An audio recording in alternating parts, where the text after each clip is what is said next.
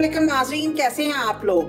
आप देख रहे हैं एन डब्ल्यू फ़ूड सीक्रेट और मैं हूँ आपकी होस्ट नवीदा वहीद। नाजरीन, बड़ी ही ज़बरदस्त और बहुत ही लाजमी रेसिपी लेकर हाजिर हुई हूँ। लाजमी से मुराद ये है कि ये हर वक्त आपकी फ्रिज में मौजूद होनी चाहिए।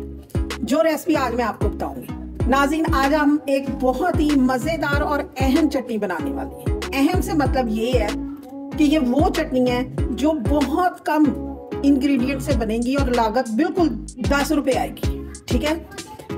और ये इतने काम करेगी आपके इतने काम आएगी, इतनी मज़े की होती है कि कोई भी आपकी रेसिपी जो है ना, इसके बगैर मज़े की नहीं लगती। मसलन आलू के पराठे हो गए, दही बड़े हो गए, चाट हो गई, पकोड़े हो गए, या वैसे अगर आप रायता खाने के साथ बना रही हैं, हर चीज़ एवरीथिंग हर चीज़ में इस्तेमाल होगी। ये हर वक्त बहनों आपके किचन में मौजूद होनी चाहिए। और इसके लिए कोई ख़ास चीज़ लाने की ज़रूरत नहीं। वही जो सब्ज़ी के साथ चीज़ें आती हैं, ठीक है? इसमें सबसे पहले मैं आपको बता दूँ, इसमें सिर्फ़ दो चीज़ें और नमक, तीन चीज़ों से ये बनेंगी। ये देखें, ये धनिया मेरे पास, एक कप धनिया और छः बड़ी हरी मिर्चें मैंने ली हैं। ये देखें, इस तरह से। उनको मैंने काट लिया, ये छोटी थी, इनको इसलिए नहीं काटा। ये पीस जाएँगी। पत्थर की कुंडी में इनको मैं पीसूँगी, ठीक है? और ये डाल लेते हैं। नाजरीन, ये चटनी जो है ना, ये इतनी ज़बरदस्त है, हरी मिर्च आपको पता है। विटामिन सी से भरपूर है। इसके अंदर पोटाशियम है। नाजरीन, हर मील के साथ इसका इस्तेमाल करें।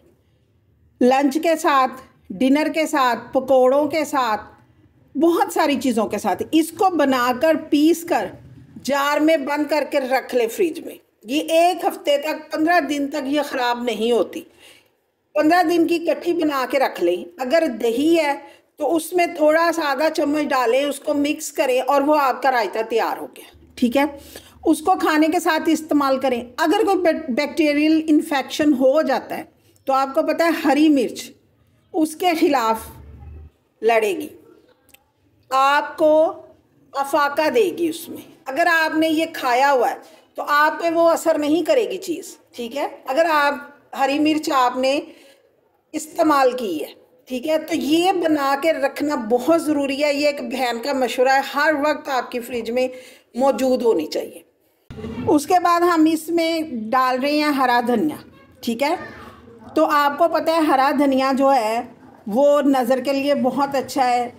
इम्यूनिटी के लिए अच्छा है गट के लिए अच्छा है, दिल के लिए अच्छा है। इसके भी बहुत सारे फ़वाद अब अल्लाह का नाम लेके बिस्मिल्लाह पढ़ के हम अपनी चटनी को बनाना स्टार्ट करती हैं। इसके अंदर मैं एक टीस्पून नमक डालूँगी भर के।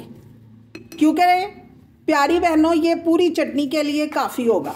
उसके बाद जब आप इसको दही में ऐड करती हैं तो नमक चख के देख ले। अगर आपकी रिक्वायर्ड से कम हो तो आप इसमें मिला सकती हैं। ठीक है? अब इनको इसको हम बारीक पीसेंगे ठीक है?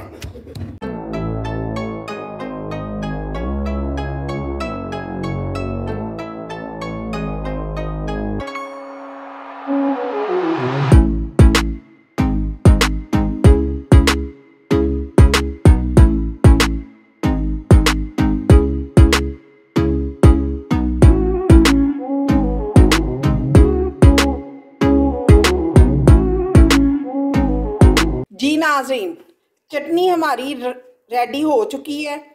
अच्छा नाजरीन, अगर आपके पास ये पत्थर की कुंडी नहीं है तो डोंट वरी आप इसे ग्राइंडर में बना सकती हैं, ठीक है? थोड़ा सा पानी डाल लें, ये बन जाएगी। और इसको जार में डाल के रख लें। और वो दूसरा जो लकड़ी का होता है, उसमें भी ये बड़ी अच्छी बन जाएगी। तो ये बना के ज़रूर रखें घर पे, ठीक है? तो प्यारी बहनों, कोई ब्लड प्रेशर का मरीज़ है तो वो इसका इस्तेमाल ना करें, क्योंकि मिर्चें हैं।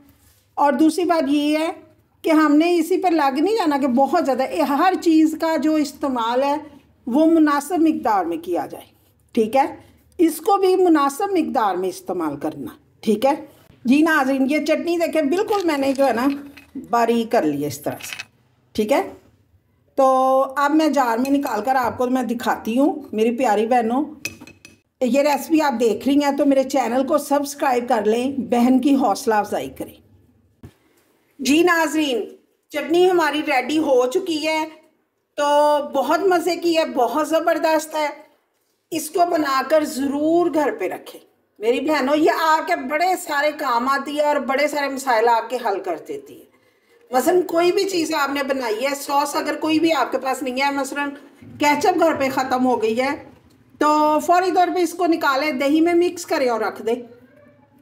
ठीक है, ये पंद्रह दिन की आप कट्ठी बना के रख लें। ये बिल्कुल ख़राब नहीं होगी। हाँ एक चीज़ और मैं आपको बता दूँ। आप सोच रहे होंगे, मैंने इसमें सिर्फ़ धनिया डाला और हरी मिर्च डाली है और नमक डाला और कुछ नहीं डाला। पुदीना मैंने इसलिए नहीं डाला कि पुदीने वाली चटनी जो है, वो मैं पहले से डाल चुकी हूँ और भी मैंने बड़ी सारी चटनियाँ मैं डाल चुकी हूँ। आप डिस्क्रिप्शन बॉक्स में जाकर देख सकती हैं। और दूसरी बात ये है कि ये जो धनिया, सिर्फ़ धनिया और हरी मिर्च की चटनी होती है ये लॉन्ग लास्टिक होती है, यानी इसका कलर ख़राब नहीं होगा। अगर जिस चटनी में पुदीना होगा, वो थोड़ी सी मतलब कि डार्क हो जाती है तीन चार दिन के बाद। ये एज इट इज़ रहती है। ये बिल्कुल ग्रीन रहेगी। अगर आप इसको ज़्यादा दिन के लिए रखना चाहते हैं तो थोड़ा सा सिरका ऐड कर लें। ठीक है? इसके साथ ही मैं आज की वीडियो को मुकम्मल करती हूँ। नई रेसिपी के साथ, नई डिश के साथ बहुत जल्द आपकी खिदमत में हाज़िर होंगी। प्यारी बहनों, अपना ढेर सारा ख्याल रखें। अल्लाह ताला आपको ढेर सारी खुशियाँ दे। अल्लाह ताला आपको लंबी ज़िंदगी दे, सेहत वाली ज़िंदगी दे। बहन को दुआओं में याद रखना है और बहन की हौसला अफजाई करनी है। अगर कोई रेसिपी, कोई चटनी आप चाहती हैं तो आप मुझे कमेंट करके बता सकती हैं। ठीक है? पूछ सकती हैं कि आपको कौन सी रेसिपी चाहिए। बहन कोशिश करेगी आपकी फरमाइश पूरी करने की। बाकी जो बहनें मेरी हौसला अफजाई कर रही हैं, जो नहीं कर रही, उनका भी बहुत बहुत शुक्रिया, तहे दिल से शुक्रिया। तो प्यारी बहनों अब नवीदा वहीद को एन डब्ल्यू फ़ूड सीक्रेट से इजाज़त दें, चैनल को सब्सक्राइब कर लें, प्यारी बहनों। अल्लाह हाफिज़।